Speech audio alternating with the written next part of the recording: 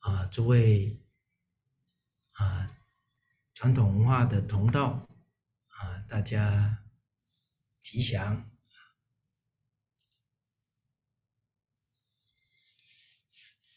啊！我们啊，敬爱的师长啊，在啊七月二十六号啊圆寂。啊，我们啊，在这一段时间啊，很多单位啊都有办啊念佛啊四十九天念佛啊，包含像极乐寺现在这几天都在做三十系念啊，海内外啊很多啊我们弟子们呢啊都在尽力。念佛、修行、做功德啊，给老人家回向啊，也是尽我们一份呢孝思。啊，感伤啊，哀伤是难免那我们啊也要珍惜呀。跟老人家的师生缘，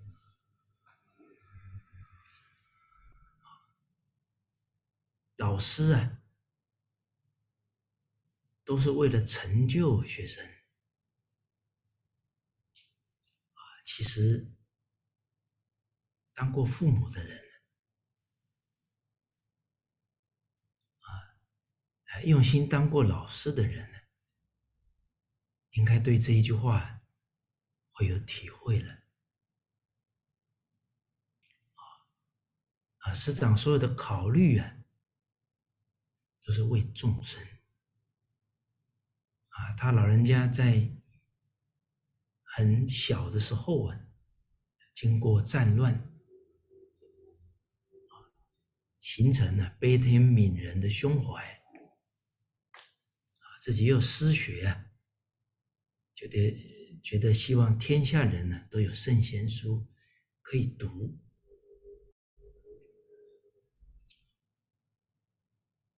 啊！老人家跟我们结了六十多年的法缘呢，利益了我们三代人呢，啊，甚至还有四代人。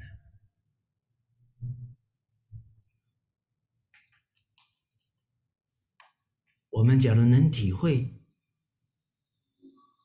啊，老人家念念啊，为我们学生着想啊，啊，就像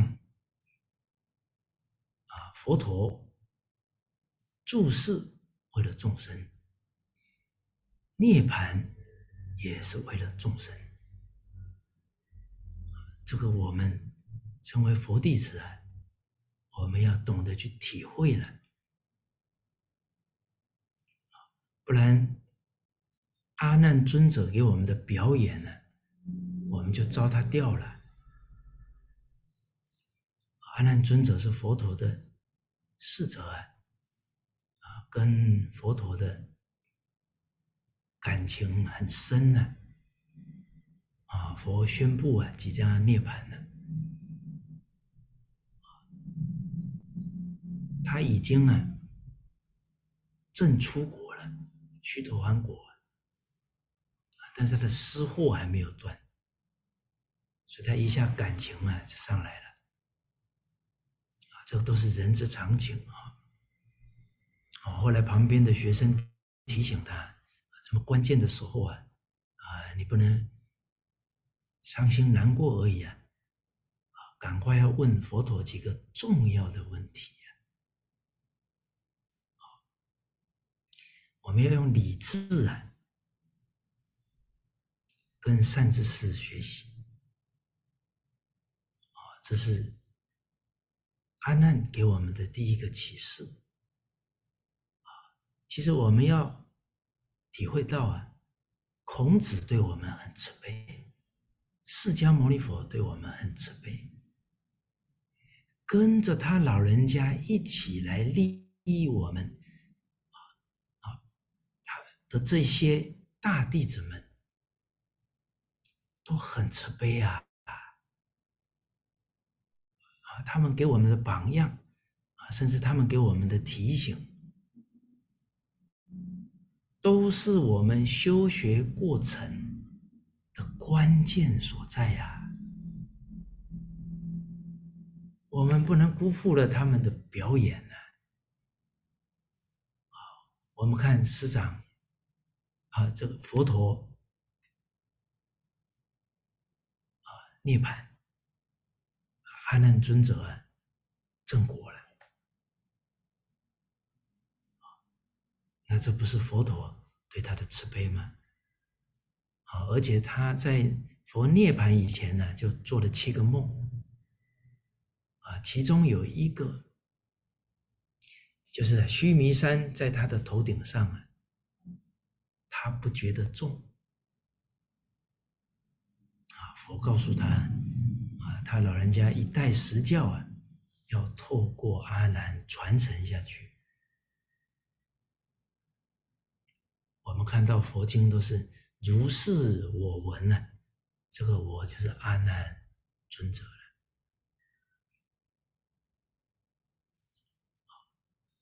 那我们回到自己的身上啊，师长老人家一代十教啊，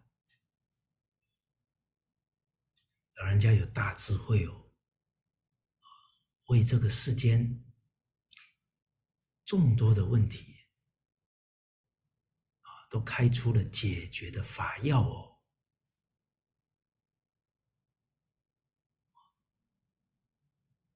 真能利益当生跟后世的众生哦。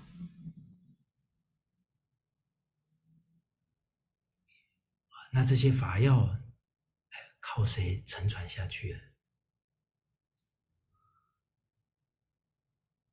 啊，我们之前提到，我们听经的态度、学习的态度啊，还是自己就是当机者。啊，就像孟子所说的啊，“当今之事，舍我其谁呀？”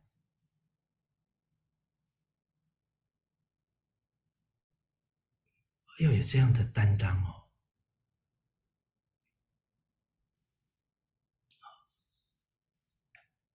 尤其是长老人家说的，这个时代最需要的好榜样啊，有为者亦若是啊。你看颜子学孔子学的很好啊，啊，他的一句话。让我们体会到他的心境啊！顺何人也？愚何人也？有为者亦若是。啊，他对孔子讲的，他对古圣先王讲的话不怀疑。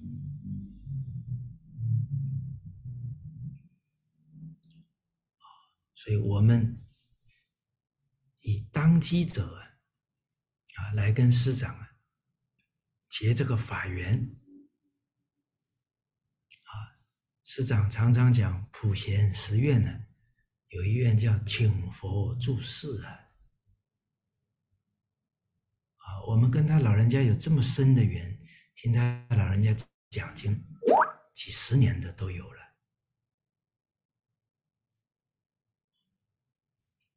哦，那这这么深的缘呢，那更应该舍我其谁？责无旁贷呀，来传承下去啊！就像《论语》当中啊，颜回啊，跟夫子他们有一次啊走失了啊，这在《仙境》第十一，他们在匡地走失了啊，被追杀啊。但是有约好啊，在一个地方相聚，所有的弟子啊，陆续回来了，啊，就是颜回没回来，啊，孔子在那引颈啊盼望啊，后来终于回来了，啊，夫子脱口而出啊，哎呀，我以为你死了呢。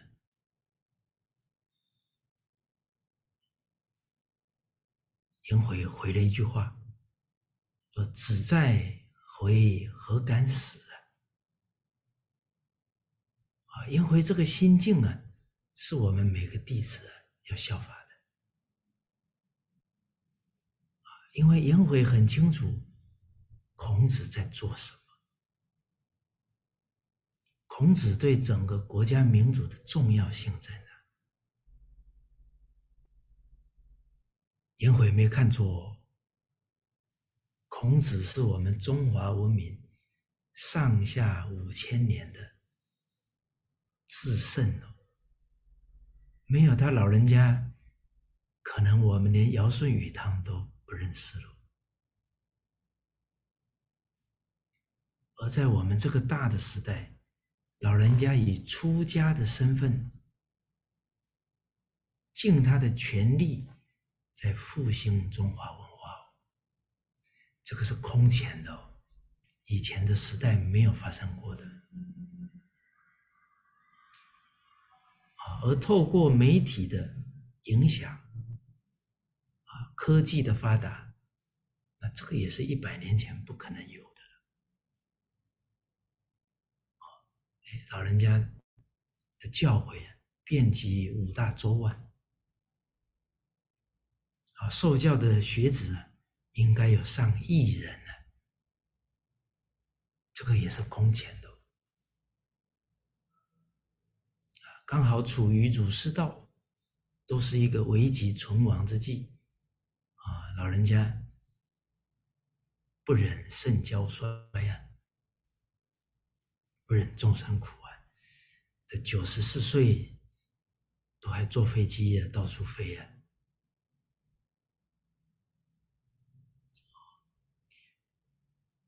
所以，颜回看得懂孔老夫子对民族文化，甚至于是对那个时代的重要性。那我们当师长的弟子，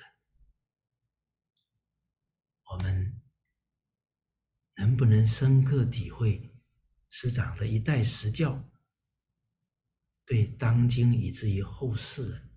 的重要性啊，师长有很多救世的理念呢，啊，需要靠我们呢继续努力哦。啊，这个接力棒啊，已经传到我们弟子的手中了。我们要以师自啊为己志哦。当然，我们要利益世间、利益众生呢，首先要成就自己。啊，我也常常跟同学们共勉。啊，我们遇到师长呢，是当生成就、了脱生死轮回的机缘成熟喽。这个机缘我们要掌握住。百千万劫难遭遇，而且呢，老人家是介绍给我们了万修万人去的法门啊！只要肯老实听话，万修万人去啊！师长说的，求的没有别的。啊，多带一些人回老家。好，我们要去利益这个世间呢。首先，我们这一生得成就。好，用儒家讲的，用我们的明明德啊，去清明啊。我们要修身齐家的功夫，才好去利益众生啊！没有这个基础，那我们要去利益别人，别人不认可了啊！看到我们的身心状况，看到我们的家庭，人家也不敢学了所以从印主到李炳南老师到师长，特别强调啊，敦伦敬分啊。伦常大道啊，怎么可能人都做不好，能成圣成佛啊？那就没有基础了。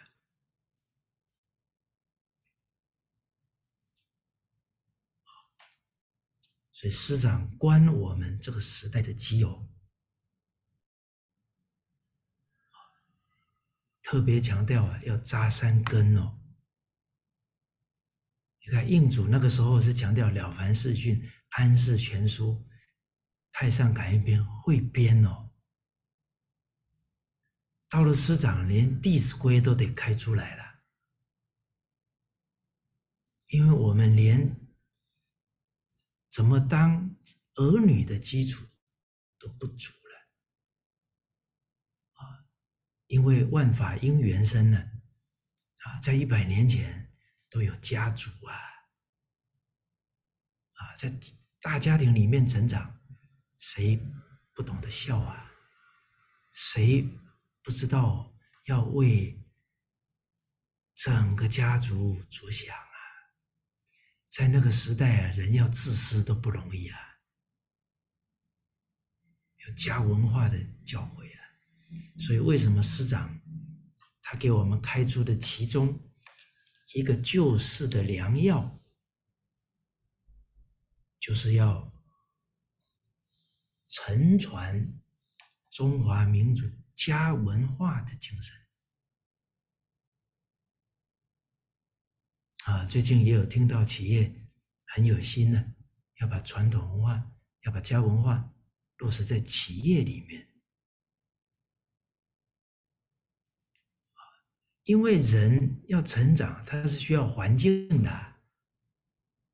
啊，所以大家族是一个环境啊，啊，现在变小家庭了，那这个孩子要为他人着想啊，他得要有一些境界，让他去体会、去锻炼啊，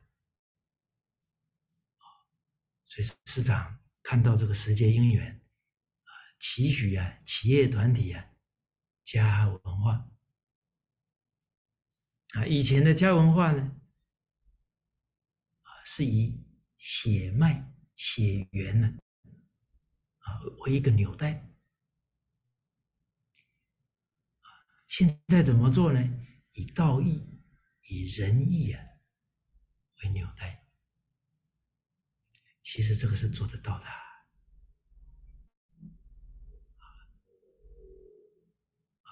我们一起学文化，叫同道中人了。法眷属啊，啊，这法眷属不亚于血缘的亲哦。啊啊，假如我们这个企业团体啊，从小落实传统文化啊，小朋友从小就念着啊《论语》里面。老者安之，朋友信之，少者怀之。啊，是老有所终，壮有所用，幼有所长。那这个企业团体的下一代都有这样的胸怀。相信这孩子们之间的情谊啊，啊，会很深哦。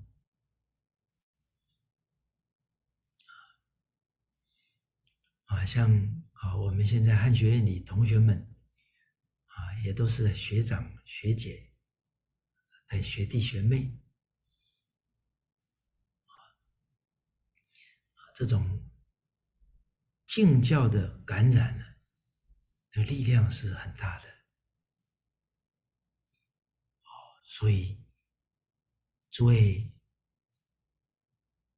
啊，同学们呢，有没有静下来想想？老人家给这个时代开了多少救世的良方啊！老人家是随缘妙用哦，随这个社会世界那么乱呢，他用般若智慧开出了解决的方案哦。我们弟子假如不配合啊，他老人家的智慧就白费掉了。啊，我们应该继续承传了。啊啊，我们啊看到啊这个范老师啊，他是范仲淹先生的后代啊。啊，范公北宋，他的义田才一千亩啊。到了清朝，他的弟子的义田是多少？四千亩啊。那不是发扬光大吗？啊，同样的，啊，我们弟子们真的以师字为己志了，啊，很可能百年、千年之后，啊，我们将老人家的一代史教发扬光大，那利益的人就多了。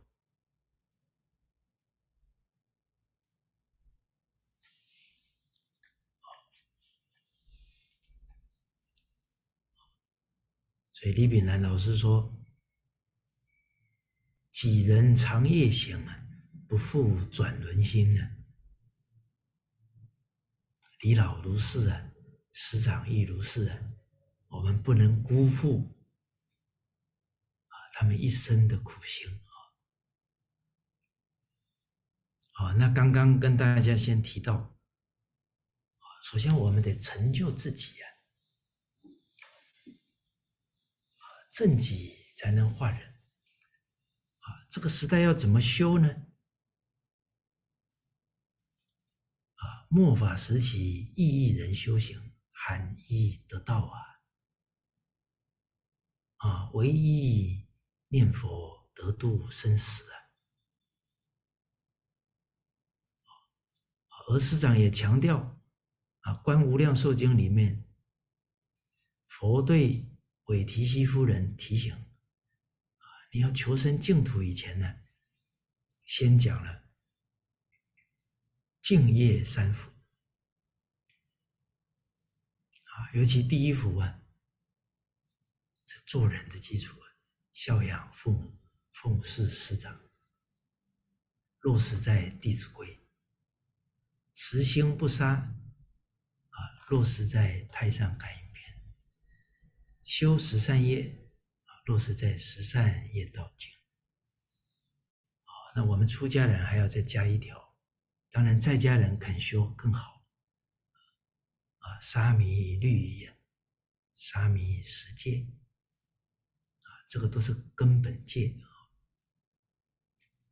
能把三根扎好啊，这个第一福有做到了。又不求世间福报，所有善根心心回向，愿生极乐，万修万能去。所以这个是师长，对我们弟子们当生成就很重要的教导啊，扎好三根呢，啊，然后。一门深入无量寿经，念佛法门，啊，决定可以成。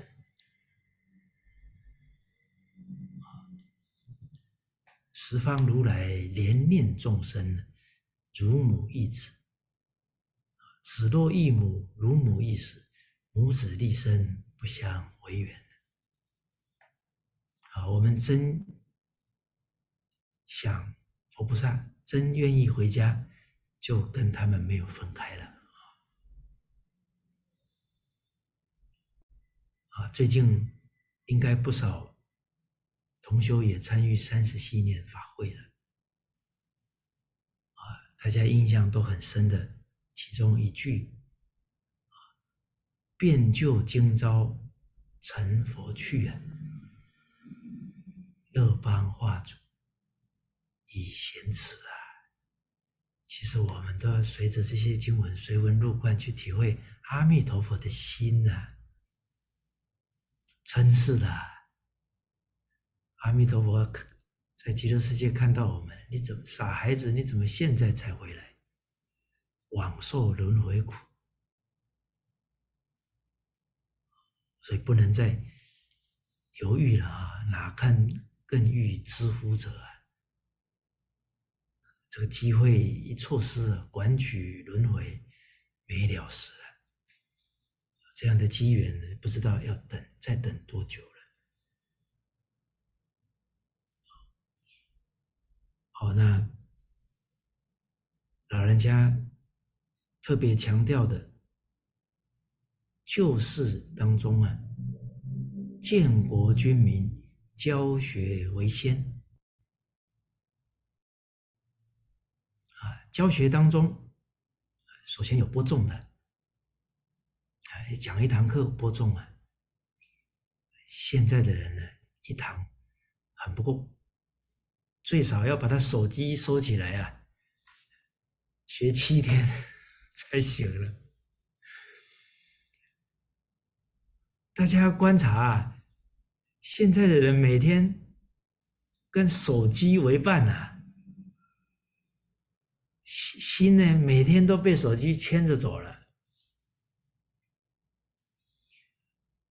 啊，有有人很诙谐啊，写了一段话，啊，说以前不离不弃的是夫妻呀。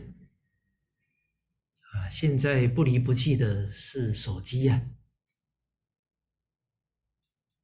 啊，一机在手，天长地久啊！好，一机不在手，魂都没有了。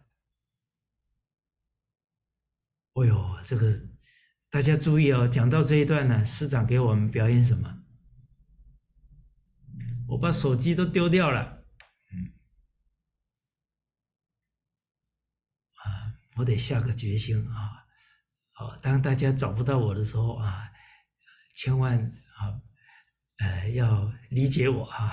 我想效法老和尚啊，哦，但是我会在固定的时间出现啊，哦，跟大家一起共学，嗯。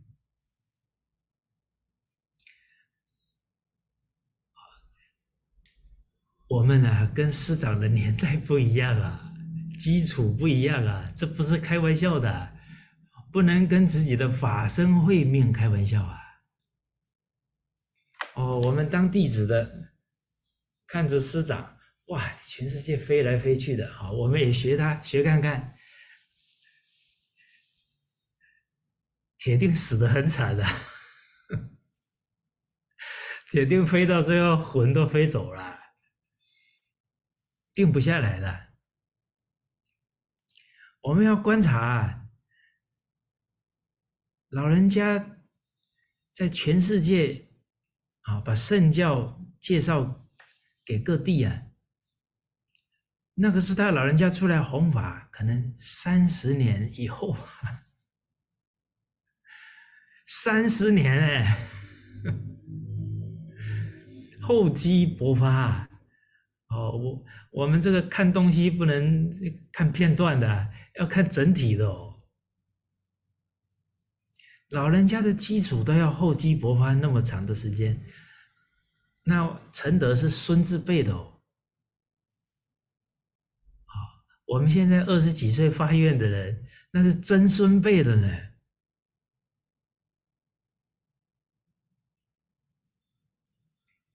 所以潜心修学啊。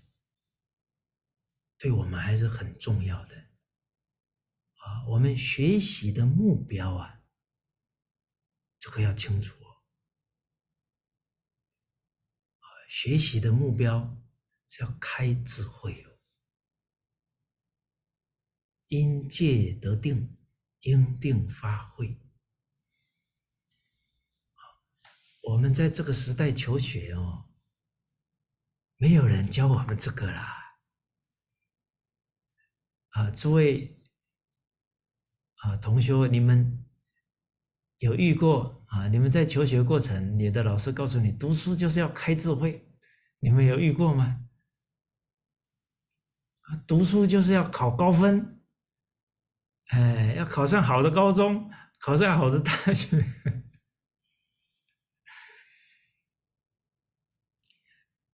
哎，不知不觉求学一二十年了，学习的习惯就是知识、记忆，从没想过说学习是开智慧的。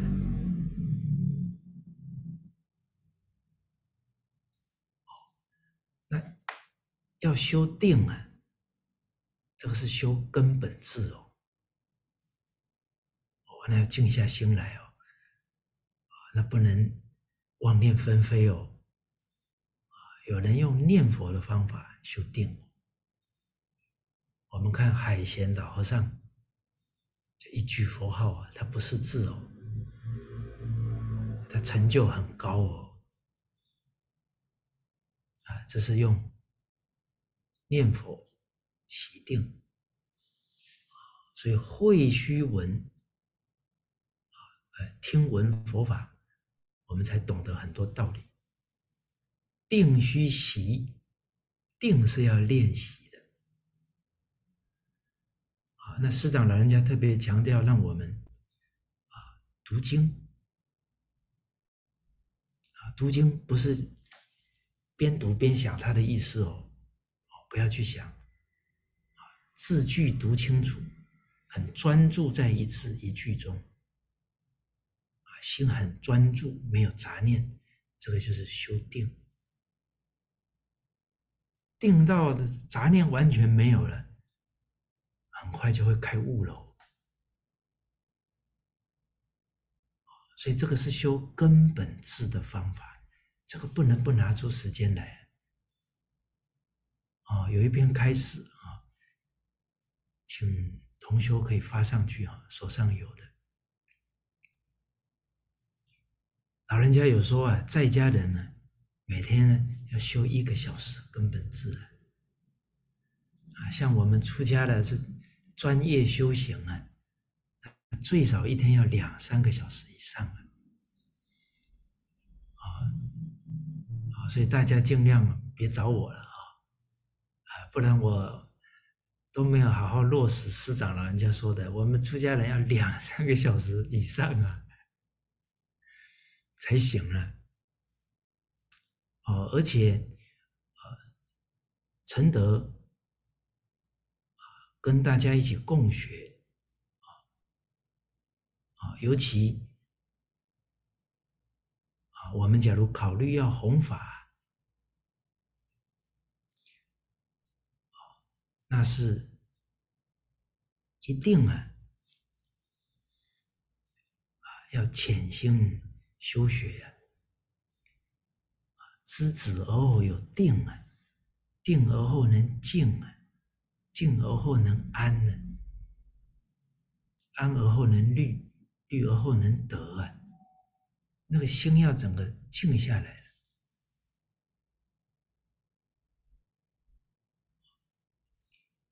是要开发自己的根本智啊。我们说讲经能够啊自信流露，但是这个界定功夫一定要不断深入啊，才有这个功夫哦。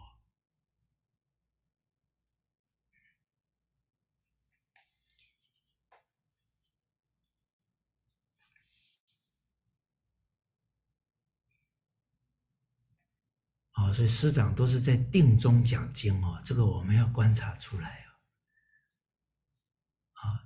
像承德是啊，相信至诚感通啊，来供养大众，但是远远不足啊，啊，离师长在定中啊讲经啊，那是差的距离是相当大的。所以人人弘道啊，非道弘人，弘道界定功夫要很强，不然呢，现在财色名利的诱惑啊，那比之前不知道多多少倍了。所以我们要好好护念自己啊！真正有机会护念年轻人呢，都要谨慎的！啊要让年轻人呢多锻炼呢，多吃苦啊！啊，吃苦当做吃补啊！这是佛陀都有留下来的交代啊！以戒为师，以苦为师。好，好，哦，那当然，刚刚讲到哈手机的问题，啊啊，也没有要求大家哈要丢掉啊啊，不然到时候造成你们家庭革命啊，这不是我所愿啊。哎，你们不要之后说是我说要丢掉啊！啊，大家别害我啊！要保持好我跟你们家人的关系啊！啊，说不定哪一天我还帮得上忙啊！嗯，啊，只是要提醒大家，手机是工具啊，啊，它是来服务我们的。我们不能被它牵着鼻子走啊，被它控制住了啊！是要用手机啊，不是被手机用了啊！那无有一法不是佛法，会用手机是不是佛法？啊，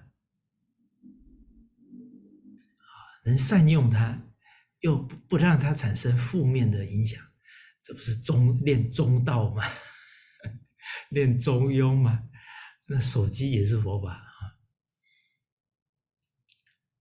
当然，我讲到这里，大家要能体会哈。好，不要我讲到这里，你要抱着手机不放了啊。好，好，所以现在的人呢，整个生活环境啊，造成他比较浮躁。啊，你要播这个种啊，没有七天的时间呢，怕不够。哎，播了种，那还要施肥啊，还要浇水啊，谁来浇啊？谁来施肥啊？啊，当地啊有长期宣讲经典的老师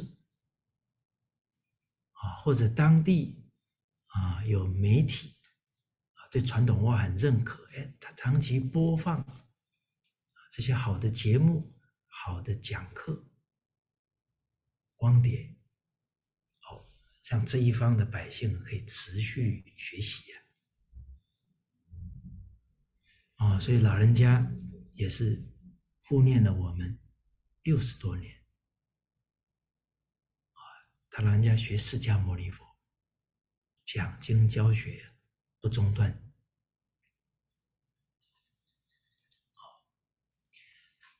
那播种，首先，你播种的对象啊，他要有信心，他才会开始学呀。啊，信心建立在谁身上？啊，和谐社会从我心做起。啊，我们每个人都要有志气啊，事不可以不弘毅，任重而道远。啊，让亲戚朋友在我身上升起了对传统文化的信心，啊，这是实质啊，给古圣先贤脸上贴金，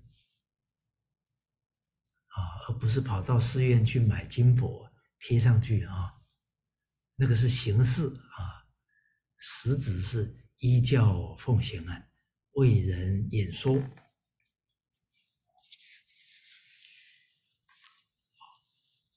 师长有说到啊，救急呀，开国文补习班啊。我们现在很多地区用啊线上啊，像我们弟子规学会啊，已经做了十五年啊。好啊，也很可贵啊，他们也都是义务在从事教学工作啊，每一方都有这样发心的啊，很可贵。每个人都很重要啊，因为我们一表法，亲戚朋友就有信心了。啊，这个表法就是师长强调的“学为人师，行为示范”，这八个字就是《华严经》啊。我们能把经典里面啊，就像我们现在学《论语》。把《论语》这些教诲落实在生活、工作、处事、待人接物，我们就是活的《论语》了。啊，我们把《无量寿经》《华严经》落实了，啊，那我们就是活的《无量寿经》了，活的《华严经》了。啊，就像师长开出来。现在救急是国文补习班，救急是群书之要。我们要从自己处事待人接物，把群书之要演出来啊，这就是活的群书之要了。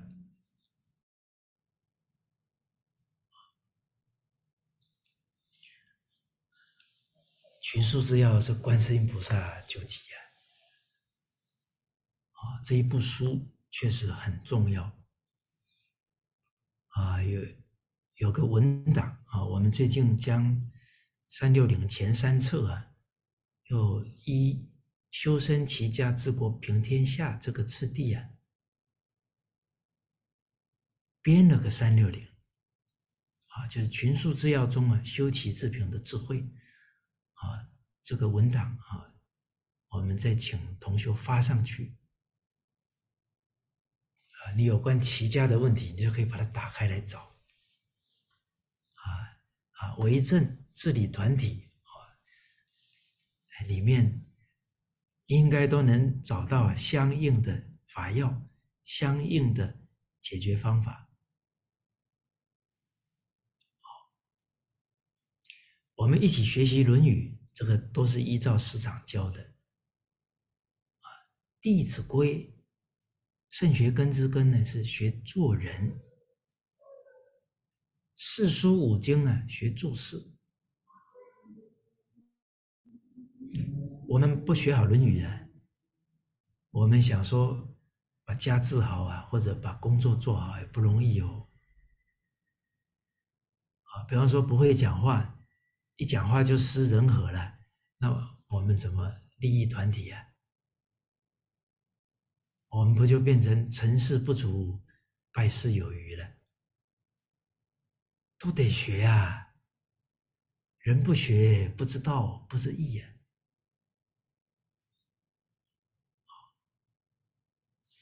好，所以我们把《论语》学好啊！我们感谢我们师公啊，他宣讲的《论语》编成了《论语讲要》《论语讲记》。好，非常的完备，我们好好一起啊来深入，护好我们的家庭，护好我们的团体，啊，尤其弘法的团体要护好啊。我们不掌握这些做人做事的原理原则，啊，一去护传统文化的事业，自己还没学以前的习气都冒出来了。那不止不能积功累德，还要造很重的业了。这么好的因缘变成造业，那不太冤枉了吗？啊，所以当初啊，这个都是十年前的事情了。啊，老人家强调啊，编群书三六零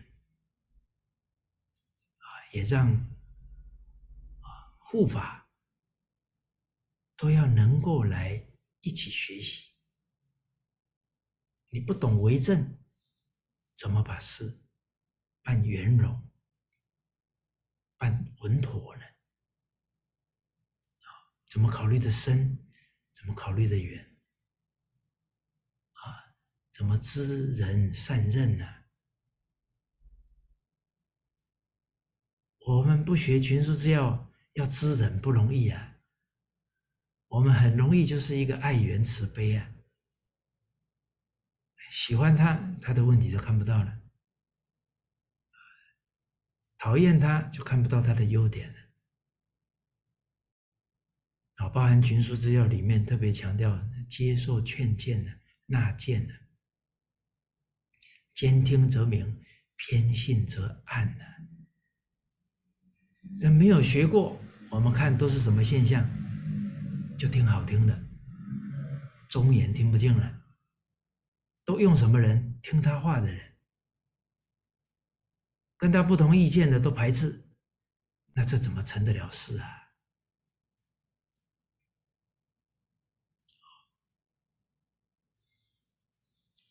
哦，所以师长强调的这些理念，我们得去了解他对这个时代的重要性。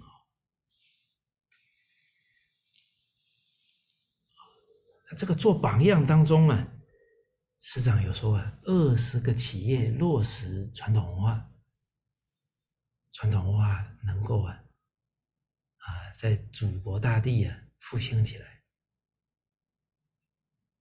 这是一个关机哦。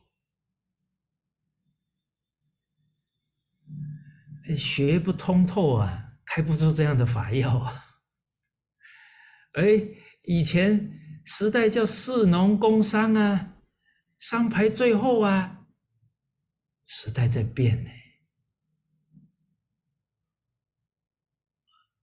我们现在到书局去看看，啊，成功自传十本里面有几本是讲企业家。再来，所有的家长考虑什么？我的孩子以后出去有没有出路啊？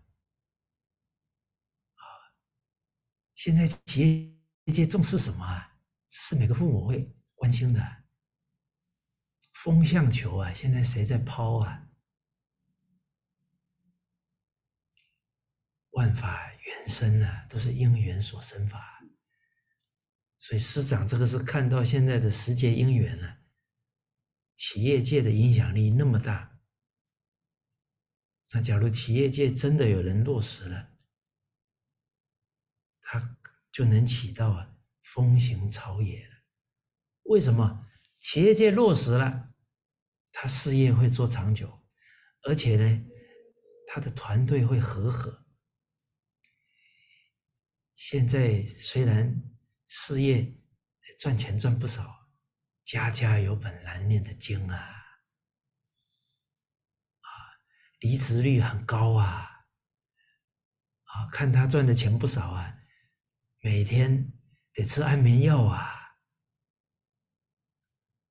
太多不安定因素啊，随时在牵动着这个企业主啊。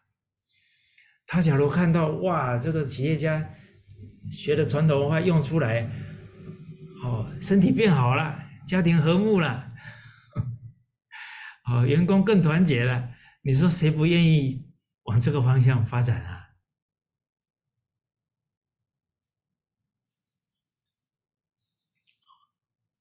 所以企业界做榜样重要啊！哦，还有一个是救根本的呢，是一条龙。江山代有贤人出啊！啊，这个时时代能教出十个范公、十个孔子来，哇，那就可以扭转乾坤了，是吗？呃风行草野呀，啊，君子之风，小人之的草啊，草上之风必偃。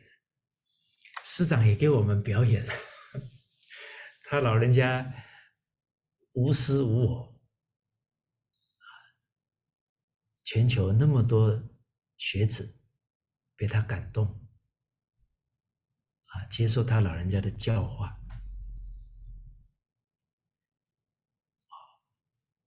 我接触过不少有清净到师长的啊同修啊，就光是老人家那个眼神呢，就让他终身难忘了。眼神充满着慈悲、智慧，充满了使命，充满了坚毅，啊，充满了柔软、温和。都在那个眼神当中啊，流出来了。哦，我们有同学都提到啊，他每每遇到一些瓶颈啊，这样想起了老人家的眼神呢，啊，他他就有很有动力了。哦，当然，我讲到这里啊，啊，可不要啊有。同修说的：“哎呀，我没见过师长啊，你看又起分别心了啊。”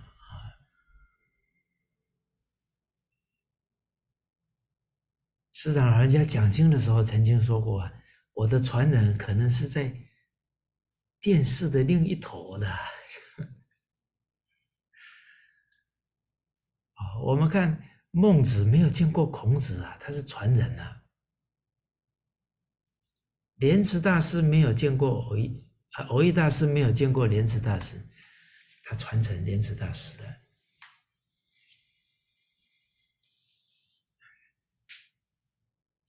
啊，所以我们听师长讲经呢，就要去感觉到老人家这一生就是为了我，才讲学一生呢，我我不能辜负他。啊，那这铁定啊，能传承啊，铁定啊，能当当真弟子啊。那老人家在晚年特别强调办一条龙啊，这也是人生很深的感悟啊，因为老人家一生不只是在教学。也在带学生，一生没有停止过教学，手把手带学生啊！只要跟他有缘的弟子，甚至呢一面之缘，老人家会和盘托出来来指导他，带了那么多弟子啊，在晚年。感受到啊，人才啊得从小，不然现在外在的诱惑太强啊，跟十几年、二十几年了，甚至更长的时间呢，可能在财色名利面前呢过不了关啊，所以就根本要从胎教开始。从小开始，培养一个人，百年树人呢，短时间不够啊，而且要几代人一起配合哦。我们看到《了凡四训》很敬佩啊，大家要知道啊，了凡先生的父亲，好像他的爷爷都是无极。以而终的，这念佛往生呢，他的妈妈也是虔诚的佛教徒，他那个家家教的积累啊，那不是一代人啊，所以这个百年树人很有道理呀，所以我们当爷爷奶奶都要表好法，外公外婆都要表好法。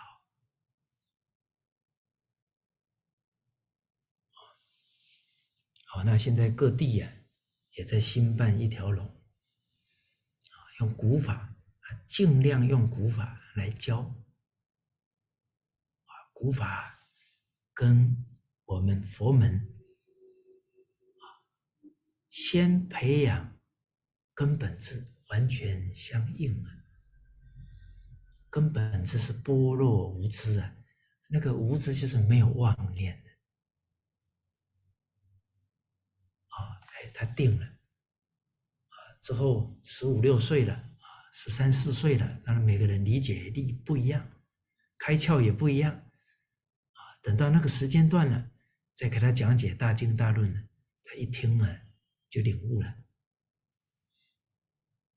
当然大家不能执着哈，啊，一听陈德说不要讲解，我说不要讲解大经大论啊，不是说不要讲解弟子规啊。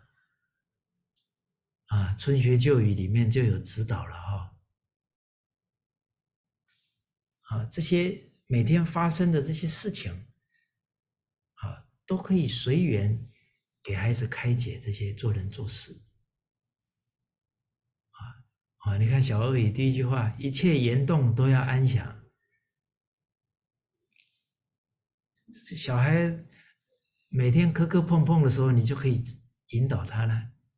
宽转弯勿触人哦，拿东西拿的都摔坏了，直虚气如直言啊，随事讲说。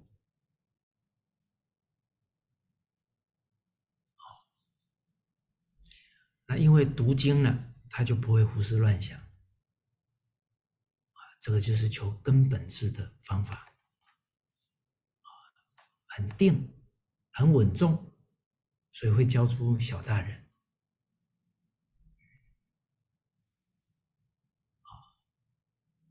养正遗规开篇就告诉我，这个也是陈洪某先生用心良苦啊。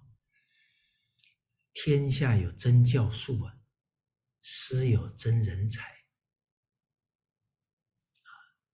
教术之端呢，是吕相史，就是传统啊，巷子里面大家族请的私塾老师，他的教学方法啊，很难得。我们刘洪典老师，他一生做私塾老师啊，有人请法，你说请法重不重要？很重要啊！啊，他的学子们给他请法，哦，啊，他写的这一本《春学旧语》，哦，不只是当老师的要要学呀，当父母的，甚至当领导的，其实都应该学。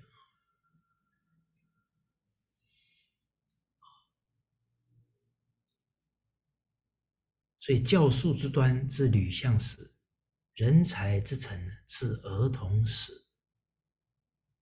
所以教学的方法很重要。当然，啊，大家不要听我说教学方法很重要，啊，那就说送去哪一间学校是最重要的，啊，一下又又执着在这个点上了哈。家庭教育是根本啊，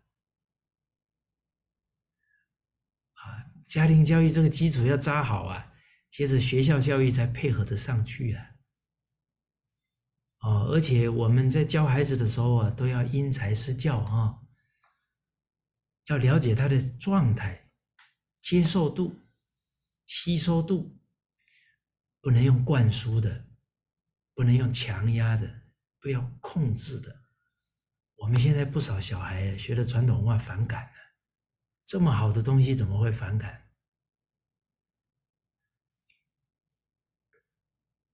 不能再重蹈覆辙了，重蹈覆辙了。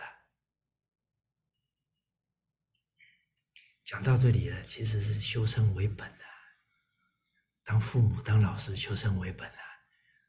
我们控制、要求、占有的念头不去去掉啊。很难不强势对待小孩呀，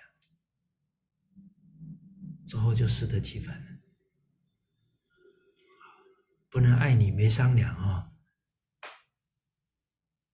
现在要知其心，要感同身受，才能长其善，才能救其失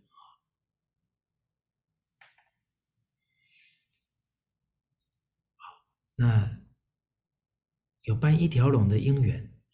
尽力来做啊，但是缘分呢要稳扎稳打啊，不要每一次做什么事情都是敲锣打鼓啊，阵容很庞大啊，多少缘做多少事啊？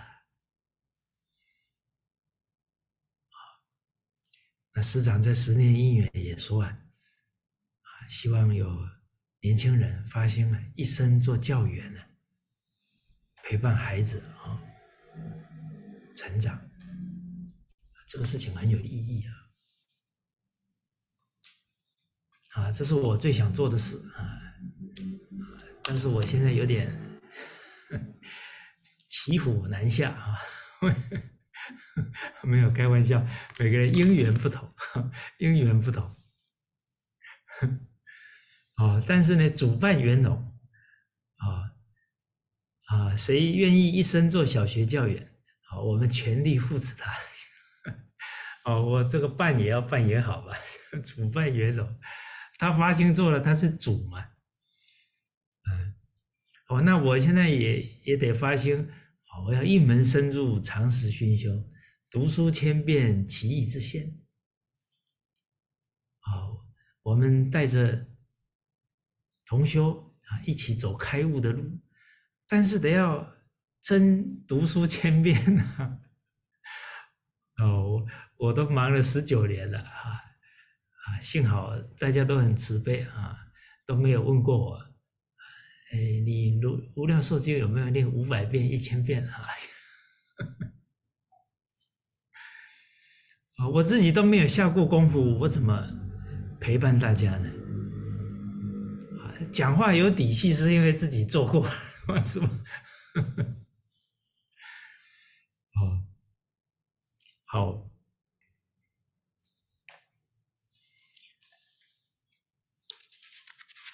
哦，那当然，啊，培养这个祖师道传承人才啊，其实我们每个人都在做啊，啊，比方说你现在好好护持你你的儿子、孙子，那就在做了，啊，只是我们是不同阶段的工程而已嘛。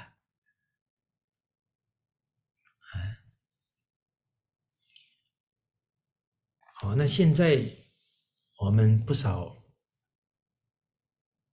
地区，甚至于是在呀我们大陆，都会遇到很多不同国度、不同民族的人，这都是一个缘分哦。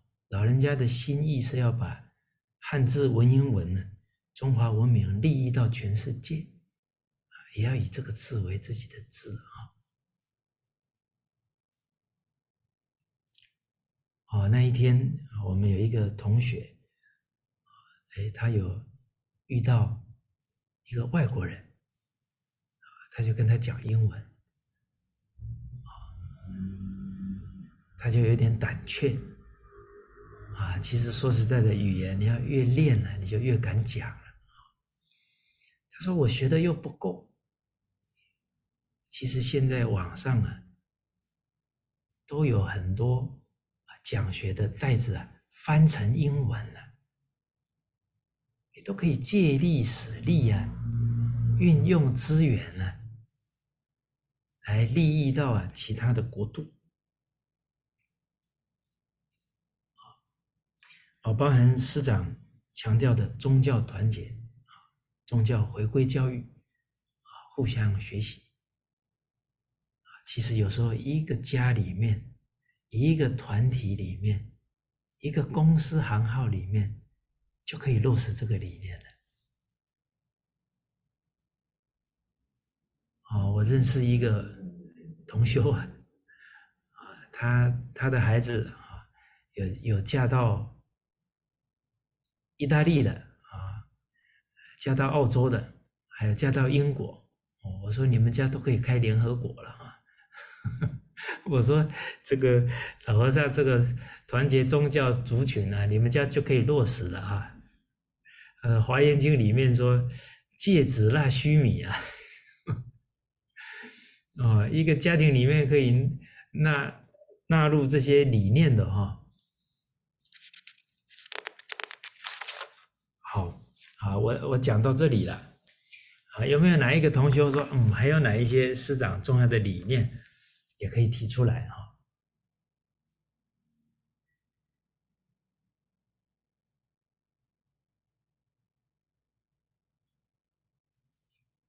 哎，你们要因无所住啊，你们一直听听听，突然问你们，你们就啊，哎，要马上转换因缘。哎哎哎，徐杰有请。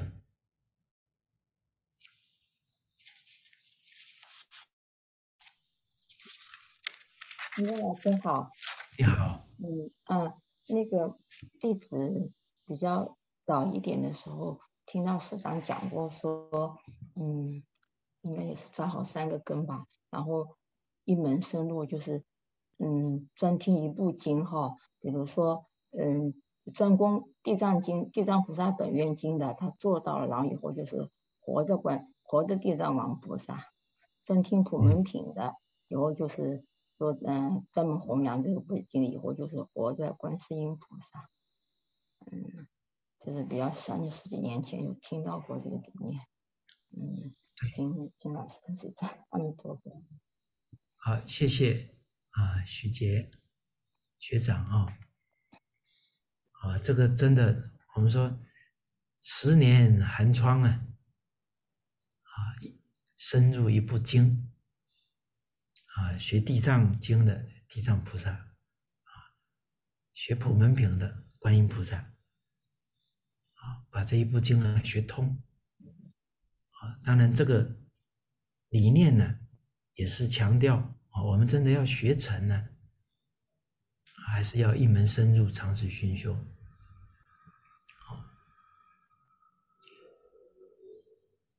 那老人家的心量啊是很大，希望啊八宗共弘，大乘有八宗，啊，包含呢。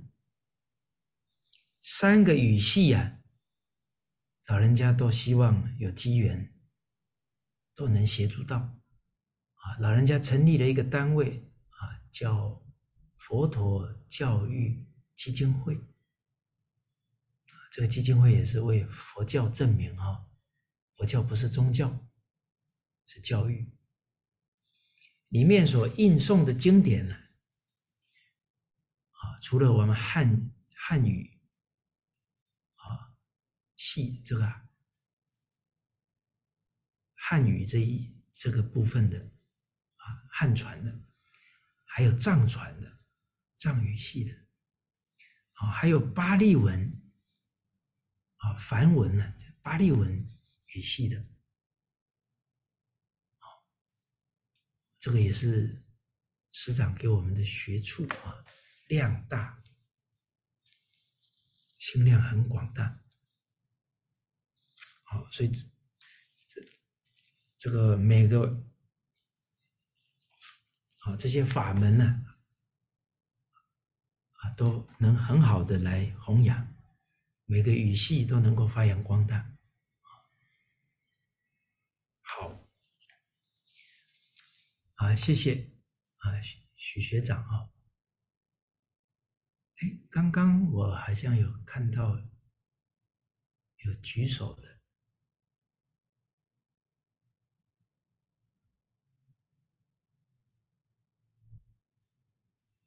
好，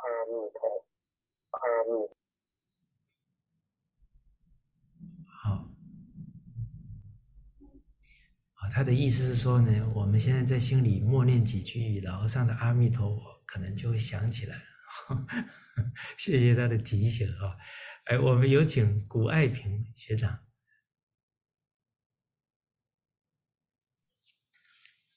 老师你好。你好。哦，我是，好像是说，嗯，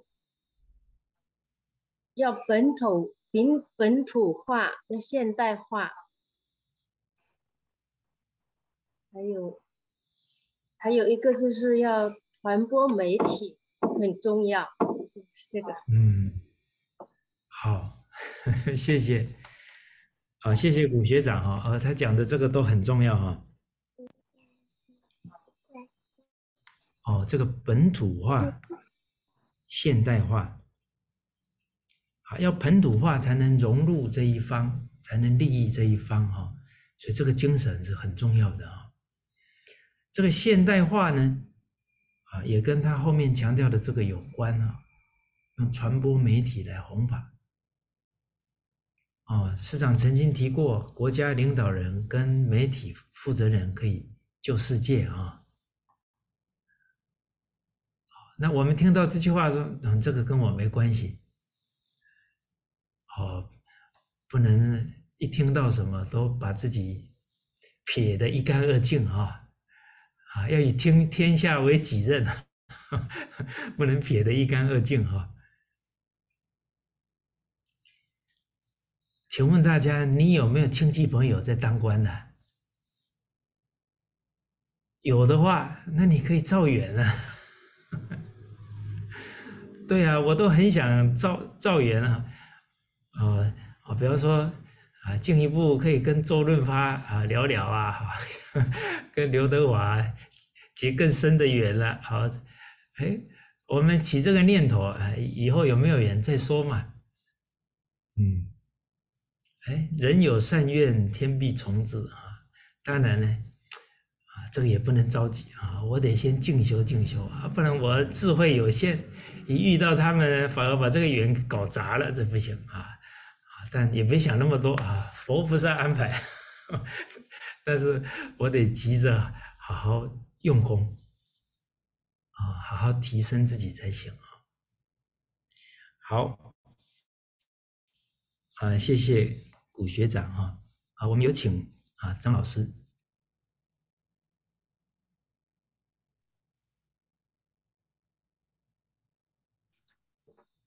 好，诸界的法。法师您好，各位家人晚上好。嗯，那一边呢这段时间也是和家人们一起学习释迦老人家关于传统文化的老师应该具备的素质。呃，里边呢老人家就呃提到了说，呃我们要去除贪嗔痴慢疑，学习苦老夫子的温良恭俭让。嗯，那一边呢对这个。呃，去除贪心这个里边有两条师长的教诲呢，就感触很深。第一条呢，就是嗯，师长老人家让我们承传文化要有强烈的使命感和责任感，时时不忘这个最初的呃这个发心，并且呢要常常读诵古圣先贤的经典，具体呢要落实在三条跟。这个上面，呃，要亲近良师益友，才能保护自己不受财色名利的这个诱惑。嗯，那因为这呃这一段呢，也是师长老人家呃反复的呃教导我们。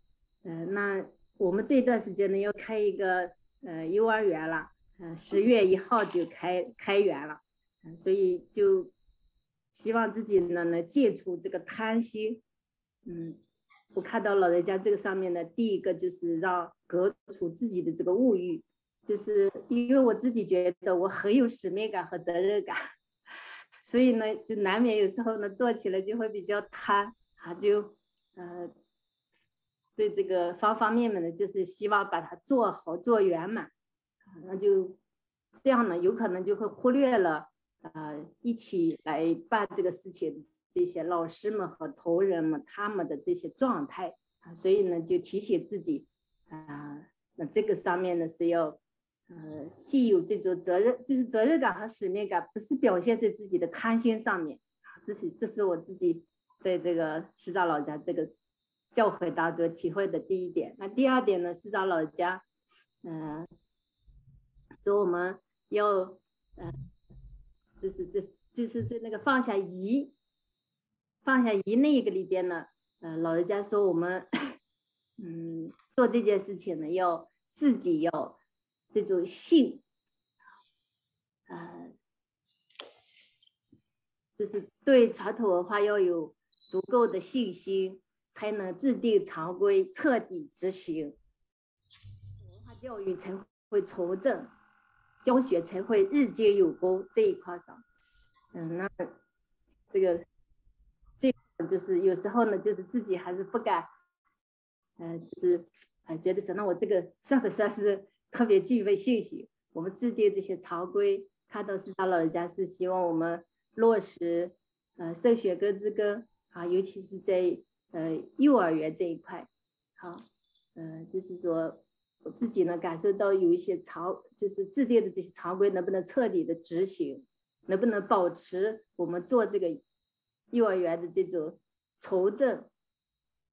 呃，这这些地方呢，实际上老人家有提醒，啊，自己呢好像，嗯，就是注意到这一点了，嗯，也会这这个上面的用功，当然也希望呢，就此机会呢，在听到法师的这个指导，就是呃，这个彻底执行，就是什么样的一个状态叫嗯彻底执行，就是保持了传统文化的这种教育的纯正性，做出来一个这个啥样子呢？谢谢老师。好，呃，呃，刚刚啊，这个张老师提到的呢，这个是主要是这个师长强调啊，我们修身啊。效法释迦牟尼佛啊，不贪不嗔不痴不慢不疑啊；效法孔老夫子呢，温良恭俭让啊。好，他提其中啊提到的这个不贪啊，这个也是提醒我们啊，传传统文化教我们放下贪啊，不能换对象啊。尤其孔孔子也提醒了。勿欲速，我不能想着我很快做成什么样子，啊啊，要稳扎稳打，啊，要体恤人心。天时不如地利，地利不如人和，啊，我们体恤到人心。啊就很团结啊，体恤不到人心了啊，那很可能人之常情，人都会有起伏，会有低潮。这时候我们又体恤不到啊，甚至于还用道理压过去的话，那可能就会适得其反了啊。所以为什么师长说放下控制的念头，放下占有的念头？放下对立的念头，这些都是老人家自己修学的功夫哦。他都是这么练过来的哦。他为什么那么柔软？哦，从他老人家讲学，我们可以体会到哦。哦，那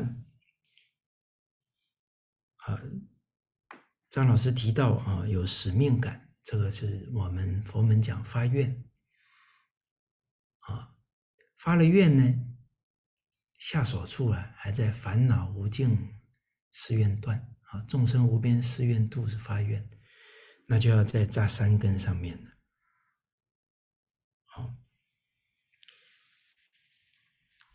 那不能贪多，为什么呢？就好像刚刚跟大家提到这么多老人家强调的理念呢，你说我全要做不可能了，要做成一样都要下很大的功夫，哪一样甚至你哪两样，你的因缘很成熟，那可以，所以面对境界要清楚。我们要能度德量力，要审视现在外在的形式、外在客观的条件有多少，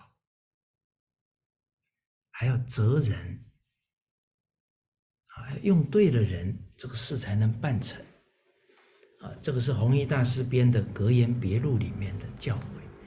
其实这些都是提供我们在境界当中做判断。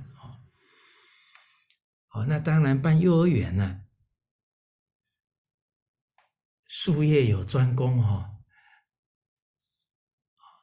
像洪明他们办了好几所幼儿园哦，他们也有不少啊宝贵的经验啊啊，像前不久啊，台湾同修办了一个交流会啊，有一位啊张园长啊啊张慧琪园长啊，他负责幼儿园几十年啊，他的幼儿园做挺好的啊，大家都可以多交流切磋。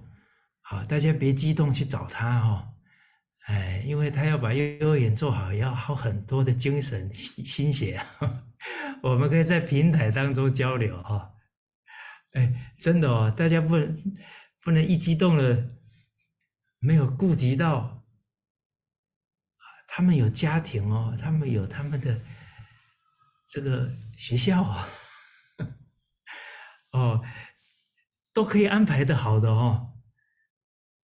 嗯，好，那这个有这样的机会啊，到时候也欢迎大家呢，可以一起来探讨。啊，文道有先后，术业有专攻。好，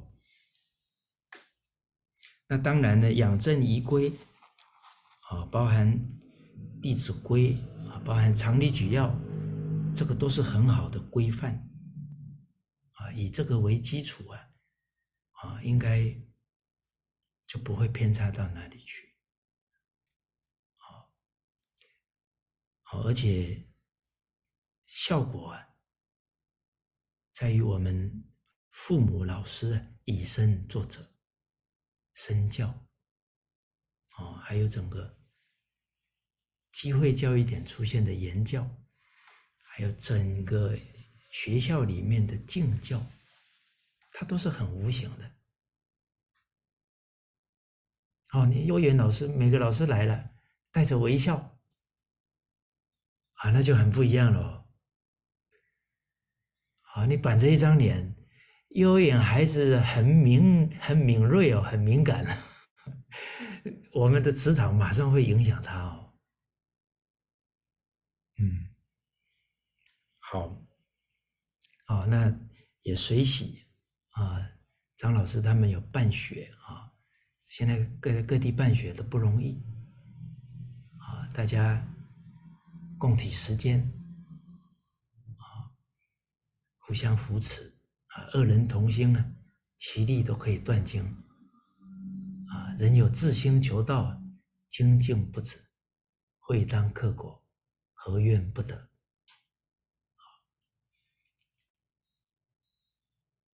好，我们接下来有有请好好先生啊，是还是好好女士？好，啊，还是好夫人啊？好夫人，程德老师好。你好，你好。嗯，我们我就是那个师长曾经说。一部经呢，要至少要听三十遍，嗯，但是好。然后呢，我在我和我的先生呢，在学咱们佛学院的课程，然后佛学院的课程呢，它是每年都是呃有定课的，应该是就是每年要要学多少部，也是有规定的。我们现在学到那个基础二年级，就是嗯，现在呢，因为一些因缘呢，呃，两个孩子呢也都是在家自学了，由我来带。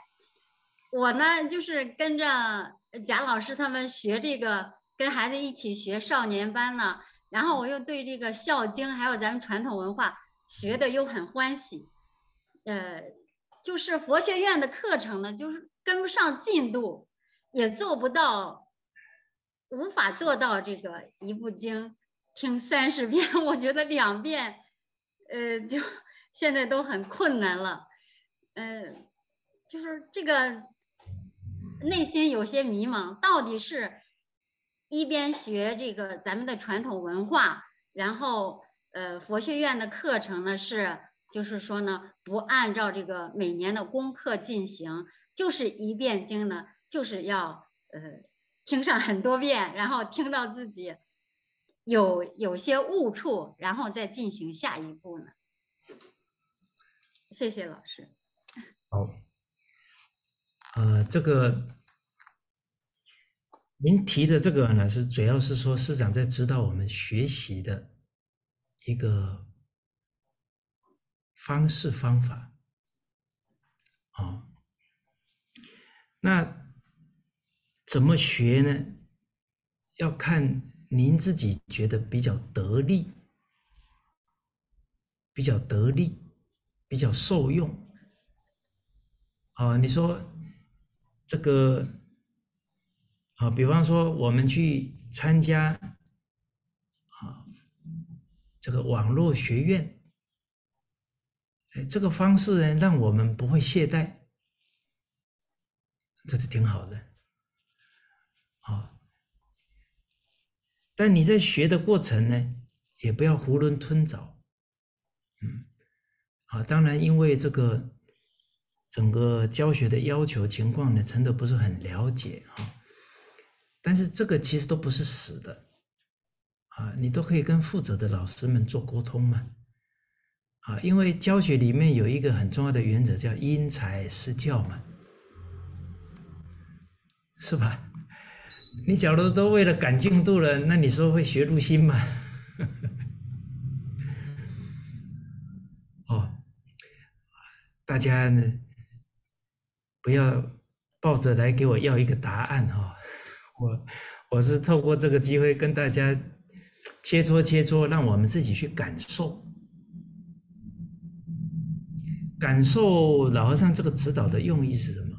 感受自己的学习状态是什么？传统文化莫向外求啊！哦，我们好像都在等着谁给我一句话。说实在，我跟真的给你一句话了，到时候我这句话是你痛苦的根源都说不定啊。因为我假如对你的客观情况不够很了解。我说你就给我这么干，哦，我又很跋扈的话，到时候让你干的痛苦万分就麻烦了。哦，呃，曾经也有人问过，听三十遍啊，我说呢，啊，你假如越听越有味道啊，那你就听三十遍好了。啊，你假如好，比方说听陈德讲是细讲《弟子规》，听第二次快吐了呢，你赶快跳下一片了哈。但是活的嘛，但是有一个很重要的重点啊，我们自己要去洞察。我们这个时代学东西啊，学的变数不够啊，深入不了。不然大家可以自己啊，这一片老和尚光碟我没听过啊，你听一遍，你说哎，有哪些重点，你记一下。你再听第二遍，你再记记看，可能你听到第五遍的时候，哇，奇怪了，这第一遍怎么记那么少啊？那你说我们真的听一遍，整部吸收多少？市场老人家讲经啊，那没有一句是多的哦。每一句都都有它的用意哦，它承先启后啊，都有它的重点呢。我们不能囫囵吞枣啊。哦，走马看花，况且走马看花也会变成习惯啊。哦，所以这一点大家要很用心哦，去训练自己哦。有时候我们学着学着，会不知不觉有一个坏的习惯养成，自己不知道。啊，举个例子啊，有个孩子啊，他读经，读啊读啊，啊，能背很多，啊，那家长啊，长辈赞叹他。随着这个孩子年纪越来越长，确实背了不少，心不能专注。我们只看到他背不少，他那个不专注的态度啊，养成了，他吃大亏喽。他不专注，他在读经的时候会不专注，他在任何时候都会不专注。